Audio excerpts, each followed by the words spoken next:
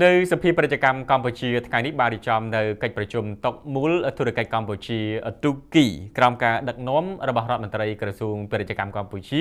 និងរដ្ឋមន្ត្រីក្រសួងកសិកម្មរបស់ប្រទេសទូគីនៅក្នុងកិច្ចប្រជុំនេះដែរគឺថាភាគីកម្ពុជានិងទូគីគឺបានឯកភាពគ្នាថានឹងជំរុញបង្កើនកិច្ចសហប្រតិបត្តិការភ្ជាប់ទំនាក់ទំនងដើម្បីជំរុញការវិនិយោគបំពេញឲ្យគ្នាទៅវិញទៅមកជាការសម្ដៅអភិវឌ្ឍសេដ្ឋកិច្ចរវាងប្រទេសទាំងពីរ។ ឯកឧត្តមប៉ាន់សុស័ករដ្ឋមន្ត្រីក្រសួងពាណិជ្ជកម្មកម្ពុជាបានថ្លែងថា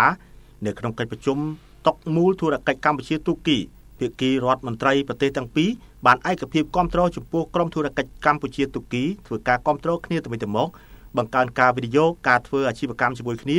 ដោយមិនមានការប្រកួតប្រជែងគ្នានិងធ្វើការវិនិយោគបំពេញបន្ថែមឲ្យគ្នាទៅវិញទៅមកទាញយកផលប្រយោជន៍ឲ្យគ្នាទៅវិញទៅមកដើម្បីជំរុញកំណើនសេដ្ឋកិច្ចពាណិជ្ជកម្មទេសចររវាងប្រទេសទាំងពីរ។ សូមជម្រាបថាប្រទេសទាំងពីរនេះគឺថាយើងយើងអត់មានប្រប្រជែងជាមួយគ្នាទេយើងក៏បំពេញបន្ថែមគ្នាទៅវិញទៅមកដែលលោកអាយដាមរដ្ឋមន្ត្រីលោកខាងទូគីគាត់យល់ច្បាស់នឹងលោកនឹងទៅជម្រាបនៅអាយដាមប្រធានាធិបតីទូគីក្នុងបញ្ហានេះគឺថាយើងនឹងបំពេញបន្ថែមគ្នាទៅវិញទៅមកដើម្បីអភិវឌ្ឍប្រទេសជាតិយើងទាំងពីរដើម្បីកុំឲ្យដោយសារទូគីនិងប្រទេសកម្ពុជាយើងនេះមានការមាន មាននៅដូចថាឆ្ងាយគ្នានៅឡើយហើយមិនទាន់ការដឹងច្បាស់គ្នា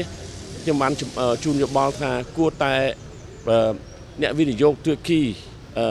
នៅនៅប្រទេសជិតខាងយើងនេះបាទសូមមេត្តាមកស្វែងយល់នៅក្នុងប្រទេសយើងនេះពីព្រោះដោយសារគាត់នៅជិតខាងយើងអាចមកធ្វើនៅវិនិយោគឆាប់ឆាប់បាទដូច្នេះជាដើម្បីពង្លឿននៅការធ្វើវិនិយោគនេះគឺថាអ្នក អ្នកវិនិយោគចិត្តខាងយើងនេះអ្នកវិនិយោគទូគីចិត្តខាងនេះអាចមកធ្វើវិនិយោគឲ្យយើងបាន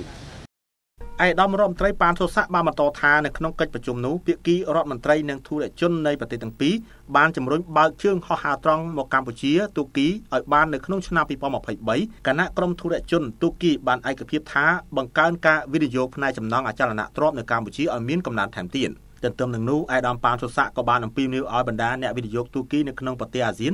សូមពង្រីកវិនិយោគទុនរបស់ខ្លួនមកកាន់ប្រទេសកម្ពុជាបន្ថែមទៀតគណៈកម្ពុជាកំពុងតែផ្ដល់គោលនយោបាយអនុគ្រោះជាច្រើនផ្នែកខាងពាណិជ្ជកម្មនិងការវិនិយោគដោយឡែកអ្នកអង្គការគិតមេងប្រធានសភាពាណិជ្ជកម្មកម្ពុជាបានថ្លែងថា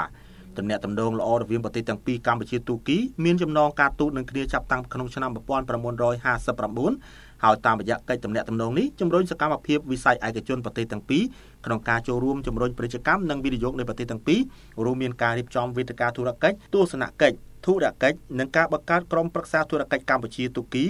ដែលមានទូនាទីជំរុញកិច្ចសហប្រតិបត្តិការបច្ចេកវិទ្យានិងឧស្សាហកម្មក៏ដូចជាតបជាប់រវាងធុរជននៃប្រទេសទាំងពីរ។